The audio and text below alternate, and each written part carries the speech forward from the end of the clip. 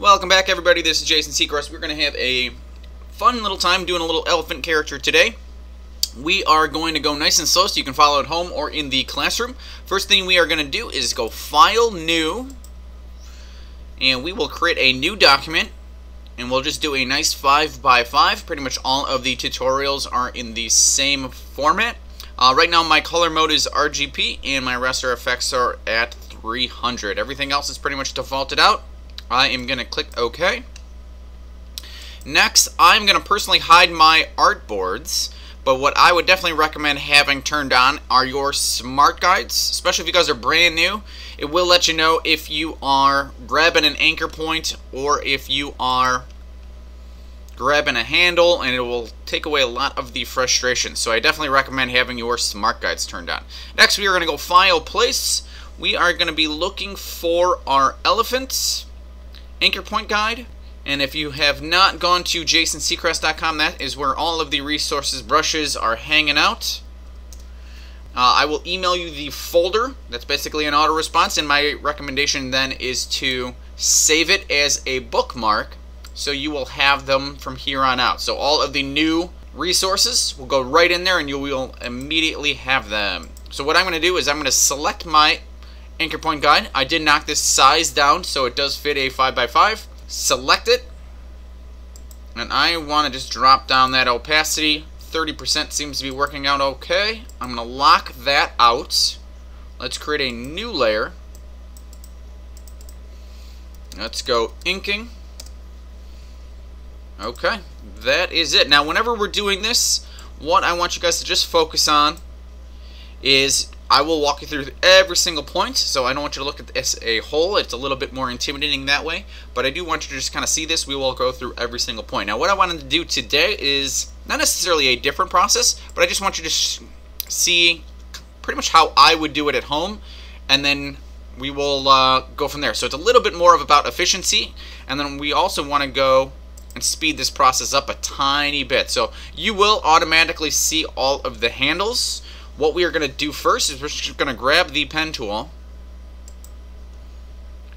And all we are going to do is we are going to click on all of these straight lines. Click on P. Click on P. So what we are going to do today that's a tiny bit different is we are just going to be plowing through all of our straight lines first. So it's a little bit different. And what we are working on is just our pacing. Click on P. Now the major thing when you guys are doing this, it's going to look a little bit silly just because some things are going to be straightened out. Now if you are click, click, clicking and things are starting to connect, just click on P. Let's say, oops, this one didn't connect. I could always come back to it and then just bring it back. So just reset your lines, click on P. So if they're connecting a lot, that just means you didn't click P to reset. Good. Let's do his upper cheek there. Okay. Now some things are going to come back, just so you're aware. So right now all we're really doing is just getting a lot of our base bases covered. Good. That one's going to go there. Good. Let's do the nose. Or trunk, I guess would be a better way of saying it. Good. I'm just going to do a straight line right in there. I'm going to come down at the bottom, hold down shift. We'll just come right back on up. Click on P. Hold down shift plop it back up, click P.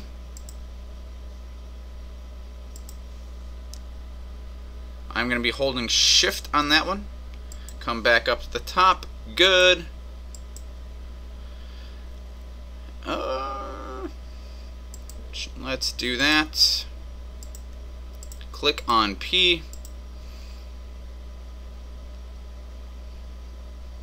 Alright, let's just do these insides. These are going to be pretty easy. Just little triangles for right now. One, two, and three. Good. I think The only thing we have left are circles. Get out, right? How easy. I'm going to put a little bit of a bulge on this guy. So I'm going to go warp, bulge. Let's just see where we're at. That's good. Let's just go 15. So you guys can follow it at home.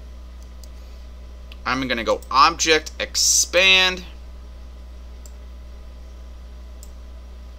Just line that up. Good.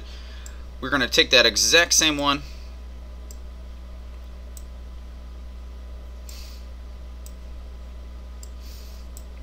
And we're just going to drag that over until it matches up the bottom.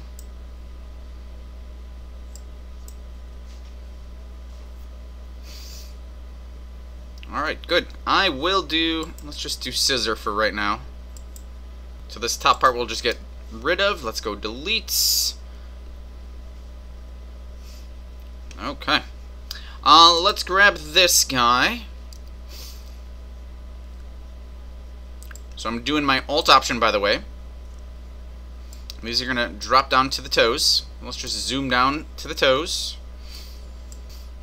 We're going to go one. We're going to grab two. I'm going to say this back one is going to get smaller. Good. Let's grab that back one. We'll just shrink that one up. Let's just do P. Alright, good. So let's grab these two. Hold down Shift. I'm going to go Alt. Just drag those guys over. Maybe I'll make that a little bit fatter. Let's grab these two. Black arrow. Hold down your Alt.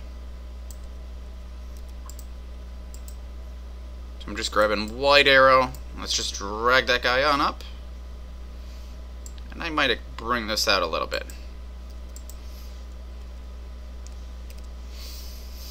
Alright, let's do some eyeballs. Nice thing is we are going to do one. And then we'll just bring it on over.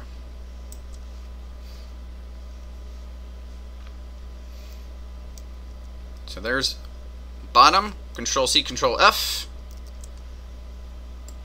and or Command. All that is is copy, paste in front. Good, do it again. I'm holding down Shift and Alt, by the way.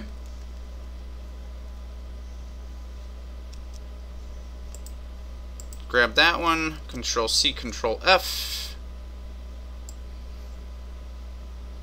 Keep in mind you could just draw new ones if you wanted to.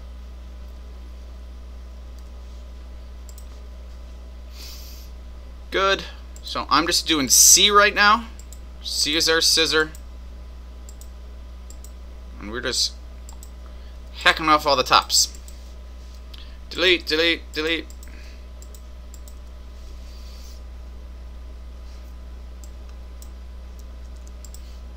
So we're going to go Shift. Now I'm doing Alt. Drag that guy over. Just scale it down. Let's just plop it into place. I might just squash that a little bit. Okay. Do we get it? I think the only last little things is our circles. And I don't think any of you were stressing out about the circles. Alright. So that was kind of the fast version. Now all we have to do is do our Shift C. So now we're just coming back, lining up our points.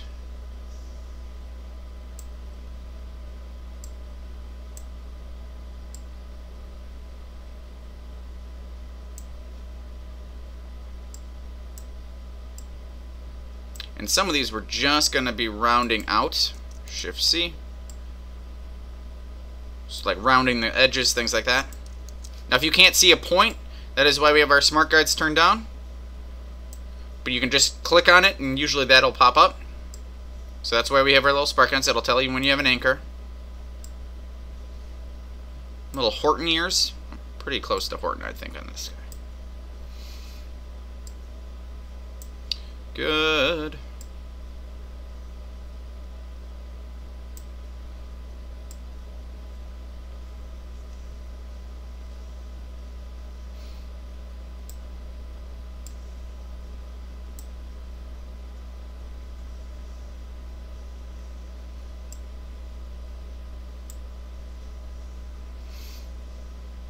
So all we're doing is just looking at our handles. We're just dragging those out.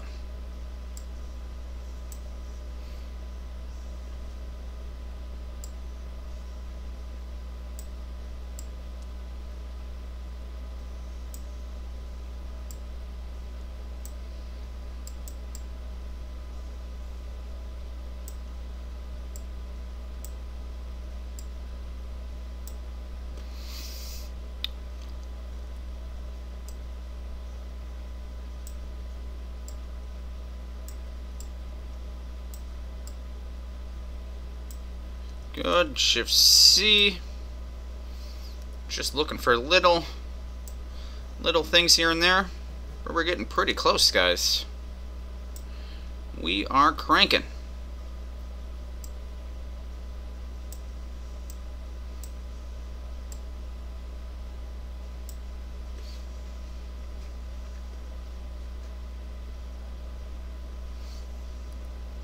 Now, if anything's a little bit off, or if you want to extend them a little bit. This would be a good time to do that. Do a little bit of curves on these. Alright. All I'm going to do is a little line here. Shift C and that'll just be a little tail. Okay, file save.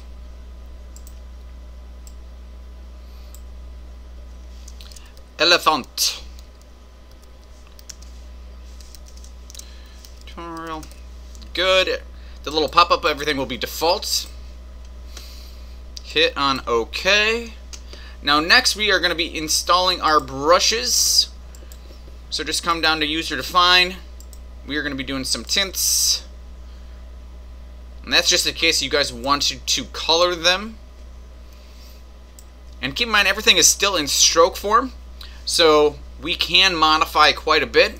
All we're really looking to do is start getting more and more efficient with our pen tool. So you can kind of see that we kind of sped up the process. And then next, all we are going to be doing is adding on our brushes. Now, if you don't have our, your brushes installed, there are some tutorials out there um, on YouTube as well as on my blog, Jason Secrest, where it'll show you how to uh, bring them over, create your art brush, change the colorization mode and or the direction, especially on the two that that uh, bounce back and forth. Everything else is pretty much centered, so it won't matter. And then you can save the art brush library or the library, and then you can have them for future tutorials, since we pretty much use them for every single one. Okay, so let's have some fun. We have those here. I'm going to hide this guy. I will also duplicate out the inking, just in case. So if I ever wanted to come back, change things around, uh, I would have this one. Typically, the layer that has the brushes that is still in stroke form, that is the layer that you want to keep since that has all of the heavy lifting that we just did. So let's let's have at it, shall we? So whenever we're doing brushes, just what we're really looking for is the edges. So we are looking for if these are floating out in the space, that is a good signal to have those tapered. Okay, we definitely want to chop this up a little bit. I say, let's chop it off there. I'm going to go right above that eyebrow and right on that side of the trunk. Good. So we get rid of that side. I do want this coming up, and then we can get rid of that top. And if you were going through this and you see anything that you want to change and or modify, you were definitely able to do so. Alright, so let's do taper down that guy. I want it to be fat up at the top. I want this one to be fat and then tapered. Perfect. Pretty much everything on this side I am going to do fat on both ends. Fat on both ends. Let's go fat on both ends for that one. Actually, let's take that back. I want fat down at the bottom. And I want that one to come popping through. That can be fat on both ends. I want it to be fat down at the bottom. Now, if we ever need to come back through and extend our line, I'm just using the white arrow. Just kind of extending them a little bit. And then also, as we start adding thicknesses on, especially to a couple of these, we can come in and then modify the points a little bit just so they read a little bit nicer when we add on the brushes. I say fat on both ends. This is going to be a taper on both ends. I want it to be fat at, at the top.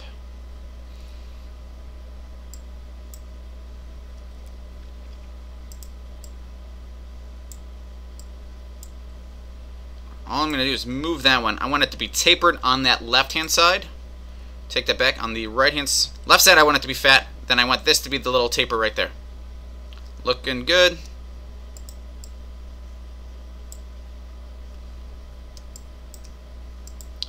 So what we are going to do is go fat to taper. Let's go taper on both ends. Ooh, let's go fat on both ends. Let's do the fatter version. We'll come back and modify the toes a little bit. Let's just do a little little taper. That'll probably disappear a little bit. Oh, let's go tapered on both ends. Let's do the fat version of it. I say fat on both ends.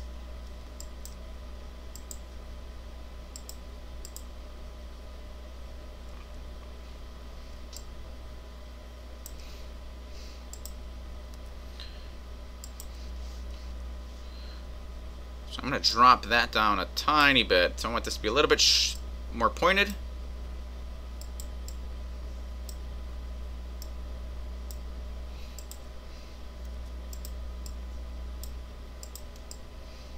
This is going to get filled in. So if you ever see me not do one, sometimes that will just get filled in black. So it's not going to matter as much. So a lot of these are going to get filled in. Well, let's do fat on both ends. Alright, good. Let's do some toes. Now we're only going to do these fronts. These are all just going to get silhouetted in the back there. Now I'm going to go tapered on both ends, and then they're going to start bouncing a little bit. And the major just the decision is which toe is in the front. I'm going to say this little guy is going to peek in front of that one. And so all we're going to do is with the scissor tool, I'm going to come in and then just get a little bit of a taper. All of these not going to be as big of a deal since we're just going to delete them with the eraser tool later. So these, as long as they are extending out, and I know you can't see them that wonderfully right now. So I'm just saying that guy can go. And so you'll see that this one's still floating. You don't even have to delete this little area. What I'm basically looking for is that the taper is actually happening in the middle and not hanging out over here since that would actually show up. So just in case that taper is not where it's going to hide or we're going to delete it, that is why we're deleting it so you can control where these lines taper. So it's just going to be dependent on kind of what your uh, your computer set is the starting point.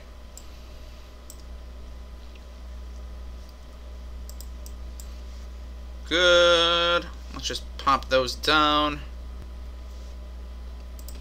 Now we'll probably align these later, let's just leave those alone. Okay, little boogie check. Little tiny things. I am just double checking that once, or if we uh, delete that these things are gonna get tucked behind. I'm looking for edges, especially with the brushes that have the fat edges. You want to make sure that those are all overlapped. So when we do the next step with the eraser, that they'll be able to uh, get covered up.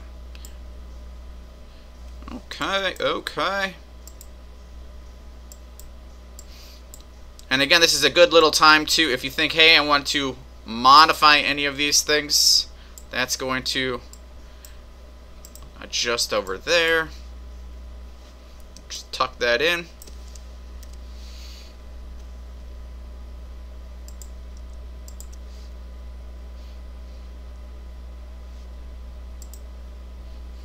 Alright. I would say file and save. Good, good, good. So next little step is what we're going to do is we are going to basically do the eraser tool and we're going to start cleaning up all of these lines. So this is what we are going to do. I am going to duplicate this one.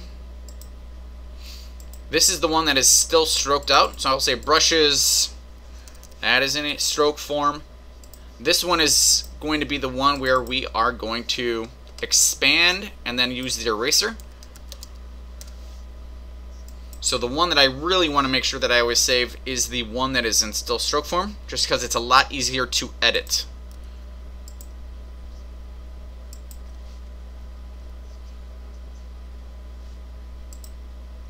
Okay, so if you like, say everything looks good, I don't need to adjust thicknesses at all. I don't have any weird little strays, then at this point you should be able to expand. So let me just, I'm just adding some thicknesses here and there. Okay, so this is what we're going to do. I probably will leave these guys alone. So what we're going to do is we're just going to grab everything. Keep in mind we're on the duplicated expanded layer. I'm not going to grab these little circles, by the way. I think we are good. So let's go Object Expand. I'm going to hit it again. Just double check we got all of our strokes. Usually this little pop-up will show up. Okay, so what I'm going to do is we'll basically crush through this. And I would just want to kind of show you the head so you guys get the concept. And then at the end of this video, what we'll do is we'll just pause it so you can see kind of how everything plays out since it is not fun TV watching me erase stuff. So all I'm doing, especially if this is your first time with the eraser tool, all I'm doing is black arrow. I am selecting the shape I want to delete. So I'm looking for any of these little overages. And then I just use my eraser tool, Shift E. Just so it's nice and clean. Now the idea is we want it to pretty much hang out underneath any of our little strokes here. So if I say, hey, this one these guys need to move up. So notice I select the line, Shift E. And I'm just getting rid of all of that overlapping. Okay, so I'm going to go through that whole process. When in about two seconds here, I'm just going to flip over. Everything will be nice and done for you. And then what you guys can do is just pause it. Okay, so everything is pretty much cleaned up at this point in time. Uh, what you are looking to do is just the major thought decision during the entire time when you're doing the eraser tool is just what's in front, what do I want showing, and then at that point in time, you can save. If you want to unite your colors at this point in time, then that might not be a bad idea. Uh, do notice that I did fill in the, the little circles, and I did erase through the feet. So I did do that as well. Uh, we are going to end this video here. And then in the next tutorial, we are going to basically add our elephant swatches. We are going to be doing the highlights, shadows, gradients, and uh, we'll do all of the coloring for our little elephant on the next tutorial. So thanks for hanging out, and I will see you guys on the color.